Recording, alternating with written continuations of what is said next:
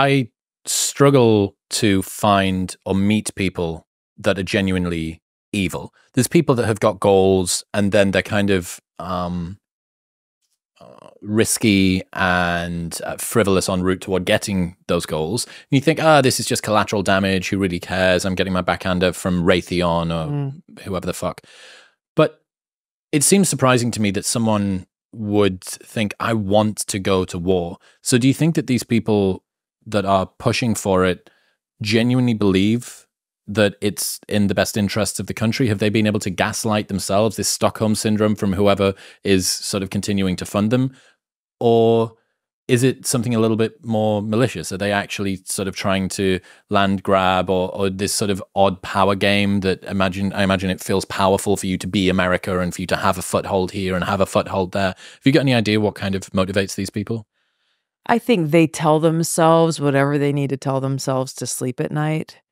But as someone who's been, you know, I still serve in the army today, I've been deployed to war zones in different parts of the world. Uh, seeing and experiencing firsthand the the harsh ugliness and realities of war and the costs. Um, the people who are so quick to go to war and see that as the first response rather than the last uh, number one, they they don't have any excuse. I, I, I don't believe everybody should. You know, it's mandatory to serve them. I'm not. I, I I don't advocate for that. But you you if you are in a position to make these decisions about war and peace, you need to be very responsible and do your due diligence to actually truly understand what the consequences of those decisions will be. Might be worth a quick visit to the front lines, maybe. Uh, they do those all the time for photo ops. I, I saw this while I, while I was deployed, and I've I've seen a bunch even when I was in Congress for eight years, where you know they'll go and they'll do like we'll stop here in this war zone for twelve hours and hop off the the private plane and take some quick photos and you know wear your flak vest and the and the helmet, um, you know for the picture. But it's you know it, it's visually impressive, but like I realistically suppose. unimpressed. Yeah, I mean, it looks really goofy to me, but you know, for them, it tells a good. Perhaps st- pick apart I've where been they to, are. I've heard that, like, I've been to Iraq twenty seven times. It's like okay, like the air conditioned jet wasn't. And yet, and yet, even those who are saying this are some of the very same people who are saying like we should just go bomb this country to smithereens. Like, okay, like there's maybe a really prob a real big problem that we're dealing with here but is that really is that really the right answer? Is that the best answer? What what happens as the second and third and fourth order of effects after we do what you're proposing?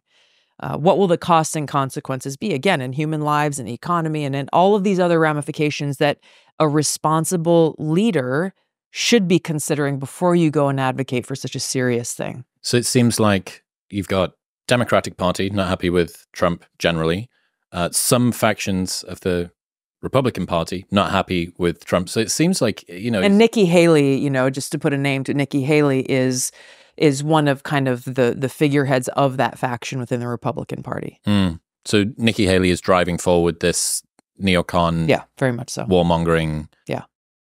How come she's still there? Because there are people with a lot of money uh, who make money from that position or supporting that position. And they see again they I, I don't know what they tell themselves to be able to sleep at night and be comfortable with what they're doing mm. but um they they have convinced themselves that this is the way things should be. That's what makes me think that uh it is self-conviction as opposed or self-conviction as opposed to uh leading this sort of double life where you know that it's wrong and then you go out front because the level of certainty that you need to be able to step out in front of the camera and we should do this. We need to do that. You go home and you drink yourself into a hole because there would be uh, for me the uh, you know just straight up multiple personality disorder that I'd have to go through would break my brain in half. I don't think that you're a good person.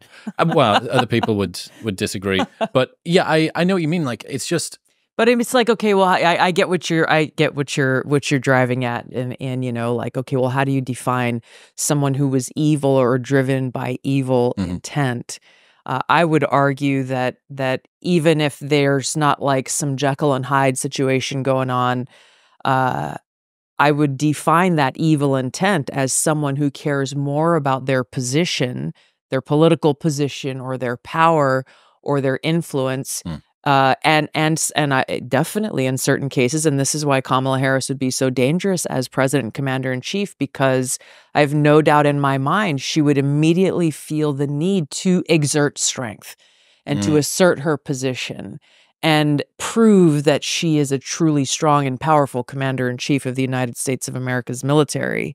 And what better way to do that? What more effective way to do that than to actually use our military and go out and and uh, you know com- commit an act of of war? So that sort of need to prove yourself makes you quite easy to manipulate in some ways. It makes you fragile. Yes, especially when you have so many interests. And this is not new. This is, you know, you heard Eisenhower warn about the military industrial complex and their influence and their cozy relationship with members of Congress.